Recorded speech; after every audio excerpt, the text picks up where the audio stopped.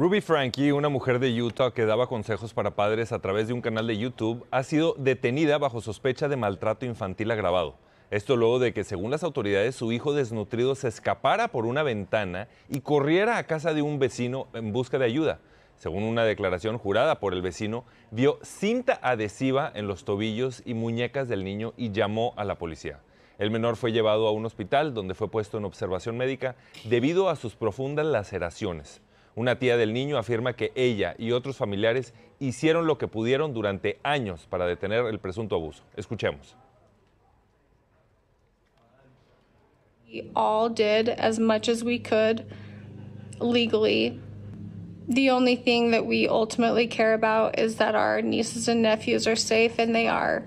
And that is the only thing that matters to any of us. It is going to feel weird for me to move forward. Frankie, Jody Hildebrandt, también fue detenida por los mismos cargos.